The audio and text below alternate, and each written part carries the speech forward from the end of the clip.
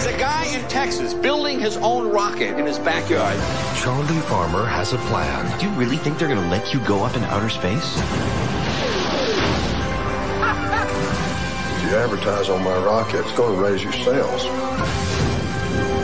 Mr. Farmer, how do we know that you're not constructing a WMD? If I was building a weapon of mass destruction, you wouldn't be able to find it. The Astronaut Farmer. I expect you home for dinner. Rated PG. Starts February 23rd.